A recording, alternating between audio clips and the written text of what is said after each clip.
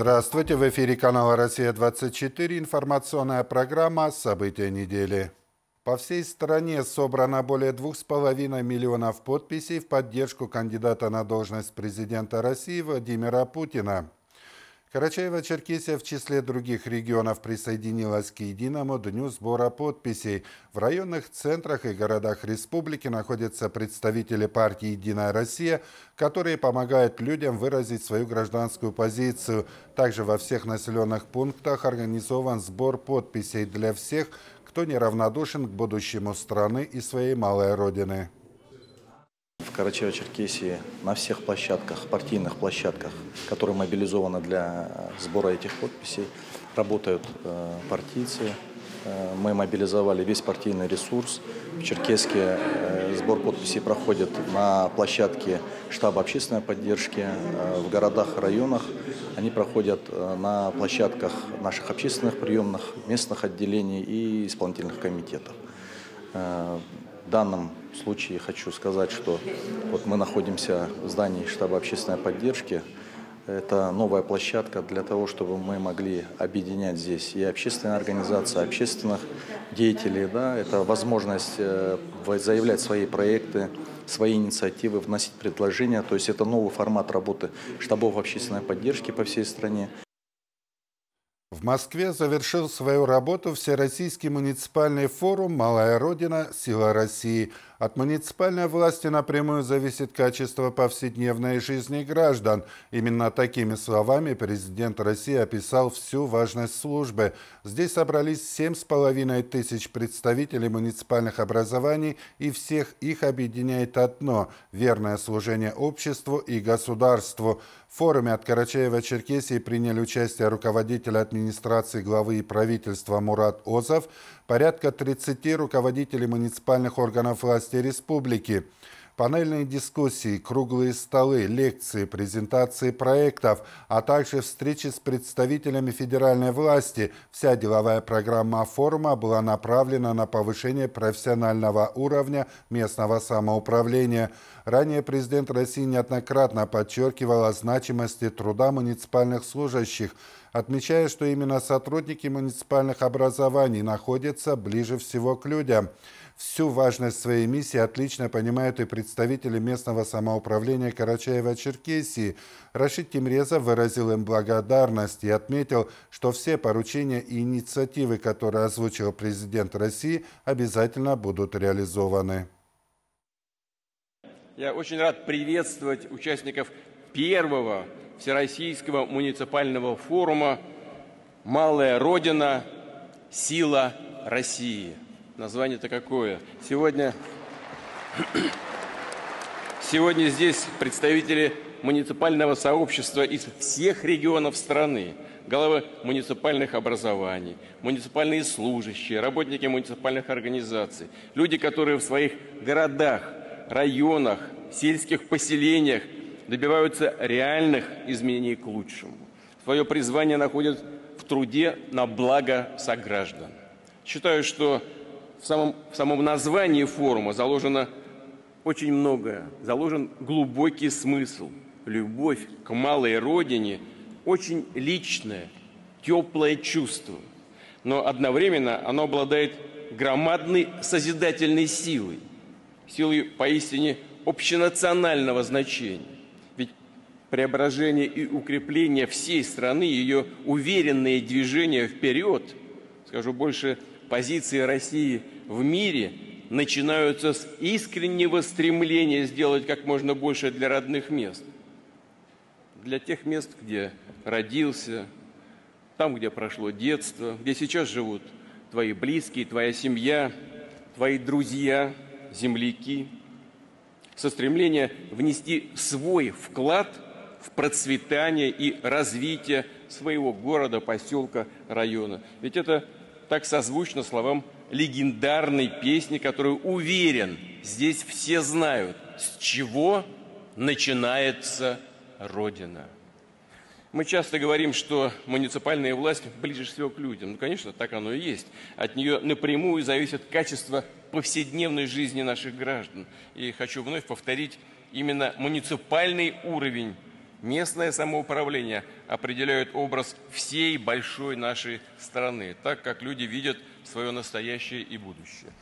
В поселке Майский состоялась памятная церемония перезахоронения останков восьми солдат Красной Армии, погибших в годы Великой Отечественной войны, защищавших Карачаево-Черкесию от немецко-фашистских захватчиков. Смотрите подробности. В годы Великой Отечественной войны много бойцов остались непогребенными на поле боя. Их хоронили и устанавливали таблички с фамилиями, но времени прошло немало, почти все сравнялось с землей. Возле поселка Майский Прикубанского района поисковыми отрядами были найдены останки восьми солдат Красной Армии, погибших при освобождении Карачаева-Черкесии от немецко-фашистских захватчиков. Карачаево-Черкесия э, необычная республика. У нас велись э, бои и на равнинах, и в горах. Э, говорят, что на территориях не всегда велись бои на, территори... на высоте выше, чем 3000 э, метров. Поэтому мы копаем и на земле, и в горах. И всегда мы будем помнить, что мы должны найти каждого погибшего солдата. Это наша святая обязанность. Дань памяти уважения военнослужащим годы Великой Отечественной войны – это большая честь для Росгвардии, для наших подчиненных, для военнослужащих сотрудников. Незабываемые те события, которые происходили на Северном Кавказе. Военнослужащие сотрудники Росгвардии всегда будут помнить и чтить память героев, военнослужащих, красноармейцев, которые отстояли город Черкесск, Карачаево-Черкесскую республику, республику от немецко-фашистских захватчиков. Мы в этот день прибыли, поклонились, приняли участие в захоронении. И об этих бойцах всегда будем помнить и рассказывать но нашим новым поколениям. Выступившие отметили, что сегодня как никогда важно помнить и чтить подвиг солдат в годы Великой Отечественной. Православный священник провел панихиду по погибшим на поле брани защитникам Родины. Во блаженном успении вечный покой подач Господи, преснопамятным рабом Божьим воинам, Сергию, Киму, Василию, Максиму и Анну, Иоанну, Василию, Василию, и затворим вечную память.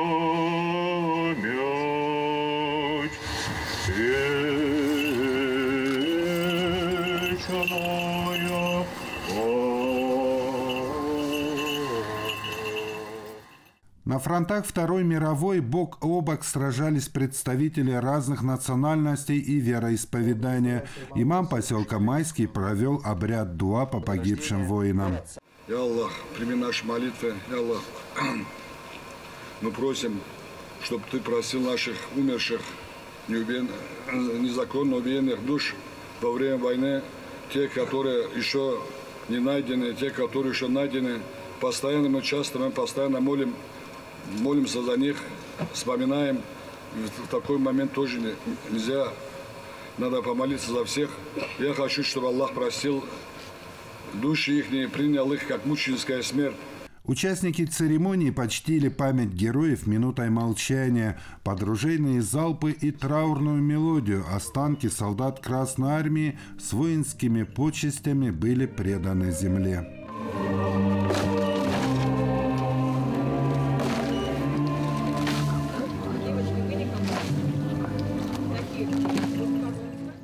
Герои минувшей войны упокоились рядом с памятником павшим за свободу и независимость нашей Родины. Представители общественных организаций, районной администрации, сотрудники полиции и Следственного комитета, школьники и педагоги района, а также местные жители возложили цветы и венки к братской могиле павших воинов. Затем участники поисковых отрядов, активисты и неравнодушные жители района были награждены благодарственными грамотами за помощь и поддержку в проведении поисковых работ и увековечивании памяти погибших героев Великой Отечественной. Мурат Шанкезов, Вести Карачаева, Черкесия, поселок Майский. 17 января – особая дата в памятном календаре Карачаева-Черкесии. В этот день, в 1943 году, Черкесск был освобожден от немецко-фашистских захватчиков. В этот день в Парке Победы Черкеска был дан старт марш Проскут дорогами освободителей. Акция приурочена ко дню освобождения Черкеска от фашистов и собрала вместе воспитанников Центра «Авангард», юноармейцев, представителей городского совета ветеранов, сотрудников правоохранительных органов. Черкесск освобождался силами 875-го полка 2-й гвардейской стрелковой дивизии, которым командовал майор Орехов, говорили выступающие. Цель акции – пройти маршрутами этого полка и почтить память освободителей Черкеска. В авангарде полка был второй батальон, которым командовал наш земляк из Хабеса, старший лейтенант Магомед Майлов. К собравшимся обратился его правнук Мухаммад. Когда вспоминаю его подвигах, я не могу не гордиться им. Он был примером настоящего мужества и отваги, и я горжусь, что я его правнук. Мне кажется, все понимают, какое сейчас положение в стране, какое у нас сейчас должно быть патриотическое воспитание. И мне кажется, вот такие мероприятия, вот такие митинги по поводу того, что происходит во всем мире, мне кажется, это настоящий пример для подрастающего поколения и настоящая поддержка для тех, кто сейчас находится в горячих точках и бойцов СВО. Одним из памятных мест, которые посетили участники марша броска, стала братская могила защитникам Родины. На старом кладбище в южной части Черкеска захоронено около 300 бойцов, которые погибли в годы Великой Отечественной войны. Также мероприятия прошли у нескольких памятных мест, связанных с Днем освобождения региональной столицы. За всем наблюдал наш корреспондент Артур Мхце. В этой братской могиле на старом кладбище Черкеска захоронены бойцы, погибшие в годы Великой Отечественной войны, либо умершие от ран в здешних госпиталях. Поисковая работа людей, неравнодушных к истории родной земли, помогла установить сведения о примерно семи десятках воинов. Их фамилии были выгравированы на мемориальной плите, установленной в 2020 году. Дань надо отдавать всегда вот, э, умершим, э, погибшим. Пока они в нашей памяти, они живые всегда. Вот. Э, хочу вот сегодня вот тоже высказать, вот ученики вот э, пришли отдать памяти э, умерших вот здесь, которые похоронены от ранений. Это большое дело наших детей. Вот мы должны как примером показать, вот, что мы делаем. Пришедшие к мемориальному комплексу школьники – участники марш-броска, который в этот день прошел по всем памятным местам, связанным с освобождением города – Представители нескольких поколений отдали дань уважения погибшим бойцам, вспомнили о наиболее значимых эпизодах военного времени и возложили цветы и венки к плите с именами защитников Отечества. Группы ребят посетили и другие мемориальные сооружения, места расстрела мирных жителей на Пятигорском шоссе и в северной части Черкеска. Еще одно мероприятие состоялось при участии представителей КПРФ, которые традиционно отдают дань уважения освободителям около памятника на проспекте Ленина. Мы, коммунисты города Черкеска, ежегодно приходим к памятнику, который поставлен э, в память о погибших бойцах, э, освобождавших город Черкесск, и возлагаем цветы и венки. Это наша традиция. Мы считаем, что обязательно нужно хранить память о том, как наша страна воевала с фашизмом, под развивающимися на ветру красными флагами звучали слова о важности сохранения истории, памяти о героическом и трагическом прошлом, о людях, которые отстояли мир. Также был отмечен труд тех, кто сейчас помогает находящимся в зоне СВО военнослужащим и жителям новых российских регионов. Благодарности в частности получили волонтеры организации «Зов Родины» за доставку гуманитарного груза в детские дома Донецкой Народной Республики. Артур Мухцелибастанов, Вести, Карачаево-Черкесия. И в Центральном парке республиканской столицы прошло торжественное мероприятие, посвященное 81-й годовщине освобождения Черкеска от немецко-фашистских захватчиков. В памятном мероприятии приняли участие представители отдела образования мэрии, Совета ветеранов, представители общественных организаций. Собравшиеся отметили, что народы нашей страны показали всему миру несокрушимую силу воли, мужество и бесстрашие в стремлении к защите Отечества, а подвиг героев всегда будет служить примером для подрастающего поколения. Почти в память погибших в боях за освобождение Черкеска участниками был произведен запуск часов обратного отсчета времени до 79-й годовщине Великой Победы. Дорогие ребята, осталось не так много людей, которым мы лично можем сказать спасибо за наше мирное, счастливое сегодня.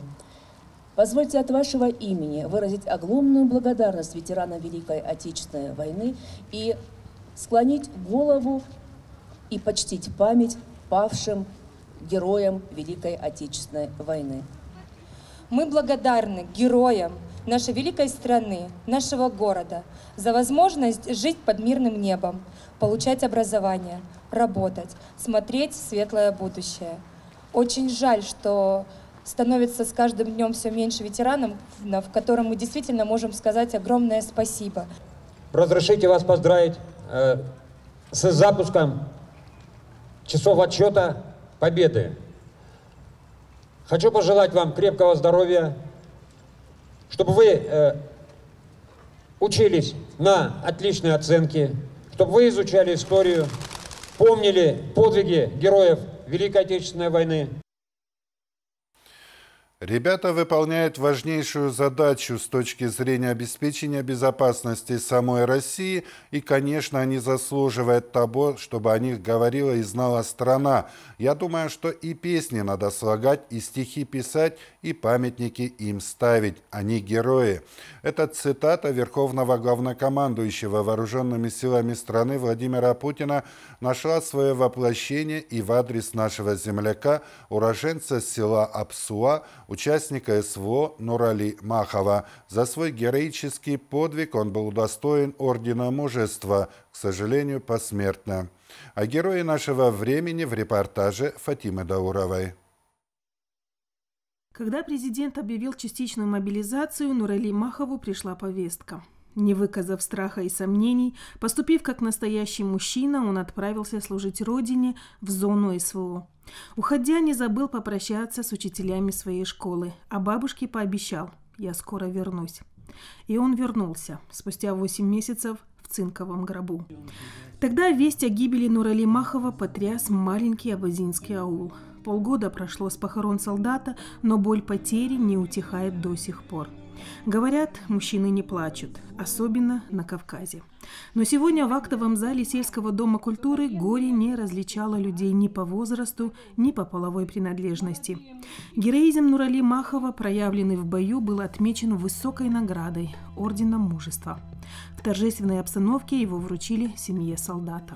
Сегодня его представили государственные награды Примите наши искренние соболезнования. Ни государственная награда, ни наши соболезнования, к сожалению, не восполнит утрату, которую понесли его родные и близкие. Очень больно смотреть, когда даже мужчины не могут сдержать слов, слез и выходят из этого зала.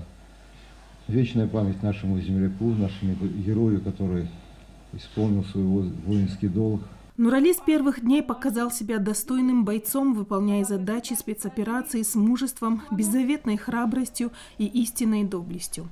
Этому учили адаты горцев и уроки отца. Быть смелым и справедливым, чтить старших и защищать слабых, быть опорой близким. Короче, вот Нурали сегодня при работе, вот, из-за своей ауры ави авиационная бомба не разорвалась, вот она закопалась. Вот. Что скажешь, Нурали? Тяжело было. Позиции, позиции. Покажи, что позиции. Позиции вот, 15 метров, где человек сидит. Вот. Первый самолет, когда сбили, я еще как-то думал, второй сейчас пойдет. Но когда во второй мы промахнулись, я думал, нам крышка. Но повезло, что она не взорвалась. Спустя несколько дней после этого видео, при выполнении очередного задания в июне прошлого года, Нурали Махов героически погиб, заслоняя собой своих боевых товарищей.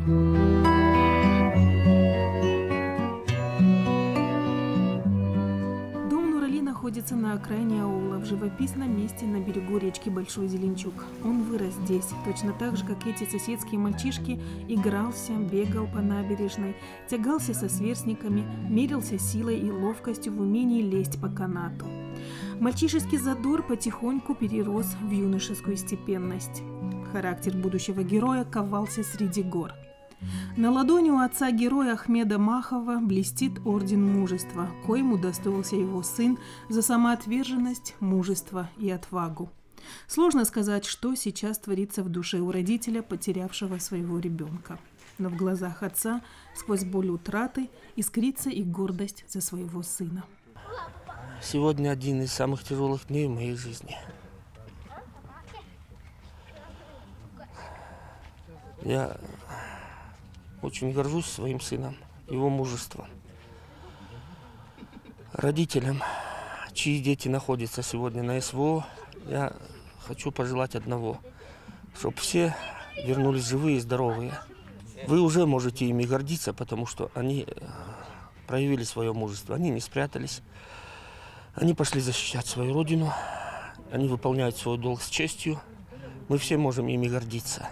В этом сюжете представлена подлинная история мужества и героизма Нурали Махова. Его дополнит творчество моего коллеги, журналиста и поэта Артура Мхце, который в лирической форме отобразил подвиг героя по просьбе матери. Прислал мне фотографию на которой она вместе с младшим э, сыном сидят и как бы смотрят на э, парня, вот на того, кто будет держать в руках эту фотографию. И она сказала, что вот это все, что у нее осталось от ее сына. Э, Нурика решил, что надо отдать дань и уважение человеку, который э, ну, пошел на такой шаг, и матери, которая гордится своим сыном. Ну, собственно, так и получились строчки, которые легли вот э, в основу этого стихотворения. Я хочу прочитать это стихотворение сейчас. Времевский выступ. Четыре утра. Тлеют угли от ночного костра. Фото в руке, будто мать на мгновение рядышком села поднять настроение. Важно сейчас удержать высоту. Там и поддержка прибудет к посту. Мысленно ж он навещает просторы, где все знакомо, поля, реки, горы – брошены силы, чтобы выступ отсечь. Против бойцов двинул огненный смерч. Новый прилет и в бригаде потери. Но отстояли. Никто в них не верил. Снимок на вспоротой почве лежит. Миг оборвал связь, лишь память хранит. Сердце одно вдруг забилось в тревоге. Женщину к сыну несли скорее ноги. В лучшая вера была до конца. Как ей не видеть родного лица? Горе, но твердости духа печать, мужеством воина, гордая мать. Фатима Даурова, Виктория Карпенко, Вести, Карачаева-Черкесия. В Центре одаренных детей «Спутник» прошло ежегодное республиканское совещание, на котором подвели итоги государственной итоговой аттестации за 2023 год – обсудили качество его проведения, результаты информационно-технологического обеспечения и поставили новые задачи. Альбина Ламкова продолжит тему. Всего две недели осталось до 1 февраля. Финальные даты для выбора дополнительных предметов ЕГЭ. В нашей республике в лидерах по-прежнему остается обществознание. Стала популярная информатика. Подводя итоги государственной аттестации за 2023 год, было отмечено высоком организационном и технологическом уровне. Все прошло без сбоев и серьезных нарушений, отметила министр образования и науки республики Инна Владимировна, добавив, что есть над чем работать. На рабочем совещании мы поставим определенные задачи на 2024 год перед руководителями образовательных организаций, которые они должны довести до сведения учащихся и до сведения родителей. И, конечно, Республиканский институт повышения квалификации работников образования должен организовать методическую подготовку педагогов по устранению тех дефицитов и пробелов, которые имеются у учителей, чтобы устранить вот эти все как раз таки слабые места. И в следующем году результаты наши стали значительно выше. В среднем основной государственный экзамен сдают более 6 тысяч человек. Единый государственный экзамен около 2 тысяч. К сожалению, есть те, кто остались и без аттестата в 9 и 11 классах. И, естественно, такие результаты не приветствуются. На собрании также обсудили ремонт в образовательных учреждениях в рамках реализации программы модернизации школьных систем образования. Нам надо будет перенести некоторые школы, пункты проведения экзамена в другие пункты проведения экзамена. Уже эту работу мы проводим на протяжении последних трех лет. То есть единый государственный экзамен и капитальный ремонт – это хорошо, но есть моменты, которые накладываются друг на друга. Их сегодня также надо устранить. При проведении ГИА используются современные технологии. Осуществляется передача экзаменационных материалов по сети интернет. Печати и сканирование работ участников непосредственно в пунктах проведения экзамена. Благодаря должной подготовке экзаменационная кампания 2023 года прошла в штатном режиме. По-прежнему будут использованы средства подавления связи. Они установлены в каждой аудитории. В этом году у нас уже выпускники 11 классов а, в декабре месяце участвовали в допуске государственной итоговой аттестации. Они участвовали в итоговом сочинении и изложении. 97% а, выпускников получили зачет, то есть это первый шаг уже для того, чтобы участвовать в итоговой аттестации 2024 года. С 1 сентября применяется новый порядок проведения итоговой аттестации. С ними все выпускники муниципалитета и школы ознакомлены. Они незначительны, отметила Светлана Федоровна. У нас выпускники прошлых лет не имеют права участвовать в досрочный период. Они участвуют в основной период резервные дни, то есть это после 20 июня. Далее у нас регламентированы сроки обработки информатики а, в компьютерной форме по 11 классам. Раньше это было 4 дня, сейчас за 2 дня идет обработка, потому что экзамен проводится в компьютерной форме. Далее у нас конфликтная комиссия которая раньше просматривала апелляции, она переименована в апелляционную комиссию. Альбина Ламкова, Миха Каракелян, Вести Карчаева-Черкесия. 19 января православные верующие отметили праздник Крещения Господня. По традиции, в ночь на крещение в парке культуры и отдыха «Зеленый остров» Черкеска прошли купания. Все желающие могли окунуться в ледяную воду. Безопасная и удобная купель была оборудована на большом пруду парка. Во всех храмах Карачаева-Черкесии прошли праздничные богослужения. Божественную литургию в Никольском храме Черкеска возглавил архиепископ Пятигорский и Черкесский Феофилакт. Он поздравил верующих с крещением, отметив, что этот праздник давно стал символом очищения и обретения духовных сил. Свои поздравления жителям республики адресовал и председатель Народного собрания республики Александр Иванов. Также состоялась торжественная церемония вручения грамот и ценных подарков архиепископам Феофилактам. Такими событиями отмечена уходящая неделя. Всего вам доброго и до встречи. thank you